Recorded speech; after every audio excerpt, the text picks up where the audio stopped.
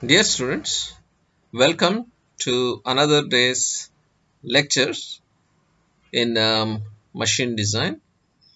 Uh, to, we were solving some problems. Yesterday we solved some problems. Today uh, we will continue to solve some more problems.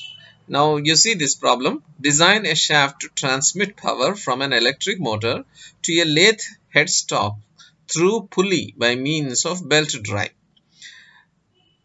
The pulley weight is 200 newtons. You see here pulley's weight also is given. That means you know this pulley here it is uh, having weight of its own W also. In the previous uh, problem we did not consider W. Only we considered uh, the belt tensions T1 and T2. Now W also is involved. So our total weight will be W plus T1 plus T2 like that it will be. Okay. 200 newtons and is located at 300 mm from the center of the bearing. From the center of the bearing, the center of this uh, flywheel or pulley, whatever, you see is 300 millimeters. Okay. The diameter of the pulley is 200. This diameter capital D is 200 or this one is 200 mm. And the maximum power transmitted is 1 kilowatt. This, this is maximum power maximum power. Okay see maximum power we where, where do we use? Uh, maximum power we use uh, uh, in in the torsion equation and uh, uh, in the in the power equation we use mean uh, torque. Oh that was mean torque. Sorry this is the maximum power. Anyway the maximum power power p p you can take as 1 kilowatt. And 1200 rpm this is capital n. And the angle of lap is 180 degrees. You see the angle of lap means the belt is coming here and here. From the point touching here to the point touching here how much how many degrees it is doing. Okay this is the angle of uh, lap of the belt and the coefficient of friction between the belt and the pulley you see this is the belt uh, this is a belt going like this and between the belt and this pulley. Belt is you know it can be uh, leather belt or some other belt. And uh, between the belt and this pulley which is normally made of cast iron or something so there is uh, friction coefficient of friction. So that coefficient of friction is 0.3 0.3 the shock and fatigue factors for bending and twisting. See the, this is a sharp, you know for bending and twisting means this is km and kt these are given. Okay yesterday we were uh, seeing about the about these factors shock and fatigue factors for bending and twisting. Okay for different uh, types of loading we were seeing the values. So here in the problem it is given. See the allowable shear stress in the shaft. Only shear stress is given here uh, 35 MPa they didn't give tensile stress. So that means what? Just with torque equivalent you can finish this problem. You know in this problem they have not given sigma t. Sigma t also if it is given then you have to consider a bending uh, equivalent uh, bending moment also. And uh, another diameter mm, you will get two diameters you will get. One for equivalent torque another for equivalent uh, um, bending moment. And uh, whichever is the larger of those two values will be our final diameter. Okay. Anyway so these are this is the data that is given. Now now the power equation is p is equal to 2 pi nt upon 60 so otherwise t can be written like this. From this you see p is 1 kilowatt. 1 kilowatt means 1000 watts. Okay. See here you should always put in watts okay because watt watt is what? Newton meter per second. So from that you know meter comes here. Okay? So 1000 into 60 by 2 pi n. N is 120 see 120 given here so we substitute and we'll get this much. And we should not keep it in newton meters because all our problems will be solving uh, mm as the base. Mm everything converted to mm so there won't be confusion. So much of um, so many um, so many what, what is what this is the torque transmitted. So many newton millimeters. Okay now next let us see now t1 t2 are the belt tensions right side and slack side. We have uh, you know formula two formula i said la last time okay? Uh, wherever belt belts are coming two torques are there. One is t torque t is equal to t1 minus t2 into r. This is one formula. Another formula is t1 by t2 is e to the power mu theta. Otherwise it can be like this also okay in logs also you can give but don't worry about that you know your calculation your, your calculator can calculate e to the power something also. So that way you can find out no need of logs. Okay see you substitute here. First formula is t is equal to t1 minus t2 into r. Now t you know you have already calculated from the power equation. And t1 and t2 you see um, now we don't know t1 and t2 r we know. R is d by 2 okay that is 200 by 2 that is 100 so from this you will get an equation. T1 minus t2 is this much 796 newtons. Another formula t1 upon t2 is mu theta. Mu is given as 0.3 and uh, theta is 180 uh, you should put in radians. Radians means pi. Pi is 3 into 3.14 like that you should put. So you will get this value. And so in the calculator you calculate. So t1 upon t2 finally you will get to get it 2.57 this value. Okay? You taking anti-logs logs you know you need not worry about all that. Okay? If you are good at calculating all this you do it. Otherwise not e to the power mu theta directly you can find out. T1 upon t2 is e to the power mu theta. E to the power mu theta you see first what you do see this theta should be in radians. Radians means pi pi means uh, 3.14 okay 3.14 into 0.3 calculate and put it find e to the power of uh, x or something. In x you put this value this value. Mm -hmm, this value then you will directly get 2.57 you put calculate and see in your calculator. Otherwise no. For the first time if you do in the exam you will not know what you are doing and it will go wrong. Okay so anyway you have now two equations of done two unknowns. T1 t2 t1 t2 these are two equations two unknowns. So from that you can find out t1 and t2 now tight side tension and slack side tension.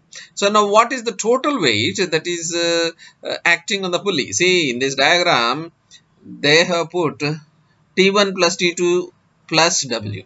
Okay this is the total weight here.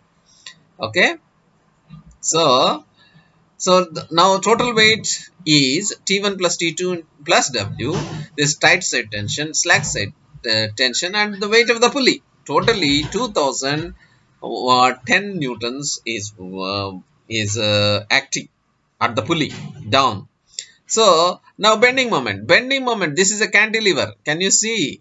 This is a cantilever. Cantilever means what? Uh, see it is supported on one end other end is free and here the load is acting. Okay it is like a cantilever. So now uh, for cantilever uh, the bending moment is um, load into distance. Wt into l. Wt total load you should consider all the three values. Okay or 2010 into 300 300 is the uh, the distance here. T 300 is this 300 mm. Okay.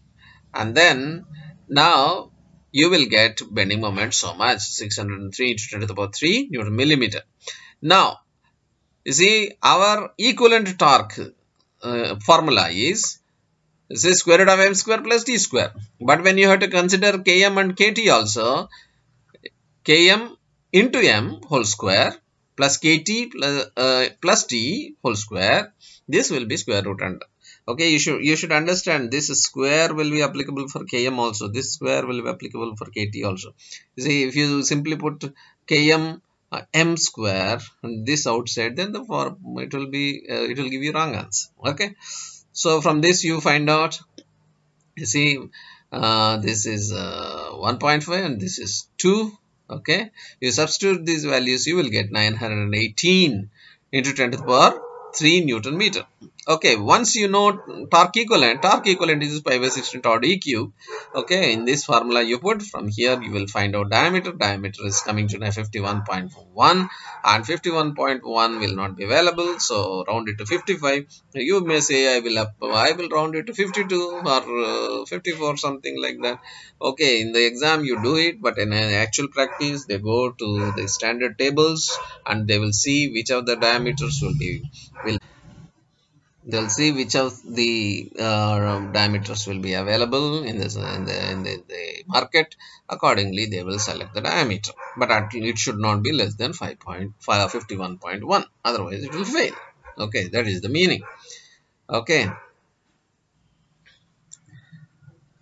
Okay now let us uh, till, till now what, what all design we were doing is uh, design of the shaft uh, on the basis of strength okay now let us do uh, the design on the basis of rigidity criteria. Rigidity. So this problem you know is on the basis of rigidity.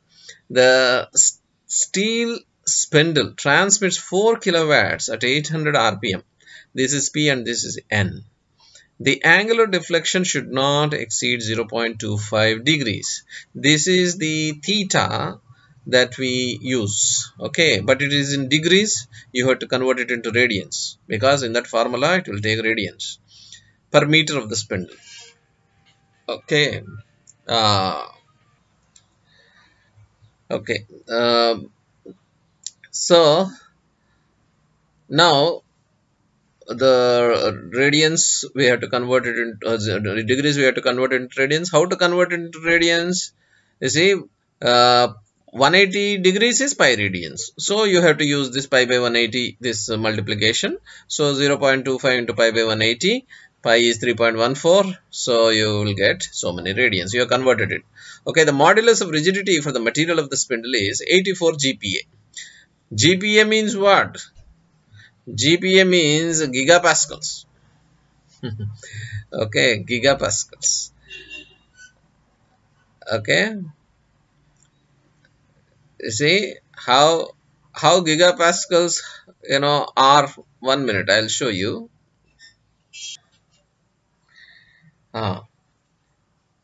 Here you see deca means 10 to the power 1 hecto means 10 to the power 2 kilo is 10 to the power 3 mega is 10 to the power 6 giga is 10 to the power 9 it is capital g it is used see? Small k is kilo okay and then tera terabyte say gigabyte megabyte kilobyte megabyte gigabyte terabyte you know in terms of computer memory we know okay? So similarly it can be kilograms megagrams gigagrams mega newtons giganewtons like the tera then 10 to the power 15 pico peta peta then 10 to the power 18 exact nobody uses all these things you know we won't go. Maybe at the maximum we uh, come is you know maybe 10 giga okay? In the mechanical engineering. But you know then exa then zetta then yotta. 10 to the power 24 okay if you go to come to the other side if you come to the other side what is this? Yeah if you come to the other side see 10 to the power minus 1 is deci decimeter centimeter like that you know we have milli 10 to the power minus micro micro is this mu is used okay 10 to the power minus 6 okay actually why we are not we are using capital m here? Because small m is used for milli. Okay then nano. Nano is 10 to the power minus 9 then uh, pico is 10 to the power minus 12 uh, femto is 10 to the power minus 15 atto is 10 to the power minus 18 zepto is 10 to the power minus 21 and yocto is 10 to the power minus 24 so that's what when we say gigapascals, that means 10 to the power 9. You see, it is used here 10 to the power 9 newton per millimeter square. Okay, then uh, okay, now we have power equation. Uh, power is 4 kilowatts, isn't it? 4 kilowatts means 4 and 4000 watts. 4000 in this, uh, if you put the, you'll get this. Now we have uh, the torsion equation um, T upon J is G theta upon L. this we find from this you know j j is the polar moment of inertia can be taken like this. So j we know pi by 32 to the power 4 and theta uh, torque we got this here and newton millimeter. This is newton meter this is newton millimeter. Newton millimeter should be there. Into l is 1000 l is 1000 uh, is it given anywhere ah 1000 see angular deflection should not be 20 0.25 degree per meter. Per meter means 1000 okay? So 1000 upon g. G is 10 84 into 10 to the power uh, 10 to the power 3 you see 10 to the power 9 newton meter square. Pascals is newton per meter square. Gigapascals uh, we we want it megapascals. Megapascals means 10 to the power 3 it will become okay? Megapascal and newton per millimeter square is same. 1 megapascal is 1 newton per millimeter square okay? So that you substitute. And theta is uh, this radians. That you substitute here. And you will get this uh, you will get d to the power 4 and that can be converted into d. D is we are getting 33.87 so that means 35 okay. And then what else is, is asking? Find the diameter we found out. And the shear stress induced in the spindle. Now what is the shear stress induced? For shear stress we have this formula. T is equal to pi by 16 tau d cube this is the shear stress. Tau is the uh, shear stress. So t we know d we know. We have to just find out tau. Tau is um, you know you're getting 5.67 newton per millimeter square. Okay. Uh, 5.67 megapascals. This is very small torque you know. Anyway here uh, if if they have given this is the strength. Strength you know no what are, what are the orders we were seeing? We were seeing some 47 50 60 70 like that those values we were seeing so those sizes. Now this is 5.67 this is very less stress. So this there is no problem. This will be uh, design is safe. You can conclude here. Design is okay. Okay because this stress is much less than the permissible stress. Anyway permissible stress is not given. If it is given you know normally the stress will be permissible stress. Permissible shear stress will be around uh, uh, 50 60 that order. Okay this is only 5 this is very less. So design is okay you can see also okay this is one way uh, we can design okay now let us see another um, problem. Here what they are doing is compare the weight strength and stiffness of hollow shaft of the same external diameter. Diameter do is same. You see in the in case of uh, uh, hollow shaft do is same. And in case of solid shaft d d and do are same. Okay as that of the solid shafts. Inside diameter of the hollow shaft being half the external diameter, that means di is half of do, do by 2. That means both shafts have the same material, are of, have the same material and the same length. Okay, what is given? do is d. This is what is given. Then di is equal to do upon 2. This also is given. That means what k, this uh, ratio is d i upon dO is equal to 1 upon 2 is equal to 0 0.5 k value we know okay now let us first compare. See in three things they are asking. First compare in the weight then in strength and then in stiffness. First let us come to weight. Comparison of weight. Now weight you know what is the formula? Weight is uh, the volume into density. Volume is what is the formula? Cross sectional area into length is the volume okay? So cross sectional area into length into density this will be the thing. First let us consider for hollow. Hollow the cross section is pi by 4 um, bracket uh, do square minus di square. Okay? Length is same density is same. So you can just uh, say l and rho you can use or just keep it like that. And for solid shaft weight will be cross sectional area is uh, pi by 4 d square. Length is l density is uh, rho okay. So now compare. Compare means one upon the other. So uh, wh upon ws wh upon ws means this upon this. See length length will get cut. Density density will cut so pi by 4 pi by 4 will cut. What will be remaining is do square minus di square upon d square. So this do do also you can take it uh, like this 1 minus di uh, square upon do square. Now we have th this can be simply di upon do whole square. Otherwise it is 1 minus square square. This is 1 minus 0 0.5 0 0.5 from here we are taking okay? So 0 0.75 so that means what we can say the hollow shaft is 75% of the solid shaft. That means if hollow shaft, uh, the solid shaft is 100 kgs, hollow shaft will be only 75 kg. That is the meaning. Now let us come to the comparison, second comparison. Second comparison is strength. See, strength means what? The torque bearing capacity, torque, torque transmitting capacity. That is what? Torque transmitting capacity, torque is equal to pi by 16 d, pi by 16 tau d That is the formula. See, for, for solid shaft, pi by 16 tau d cube only. But hollow shaft, torque, uh, uh, TH means what?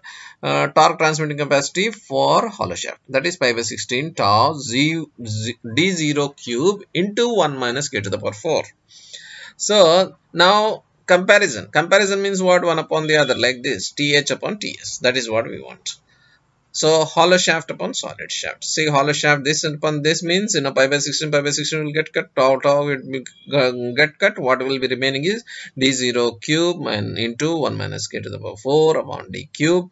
So now d and d0 are same so we can um, put this as d0 so what will happen? This this will get cut. Only this term will be remaining 1 minus k to the power 4 okay so that comes to 0.9375.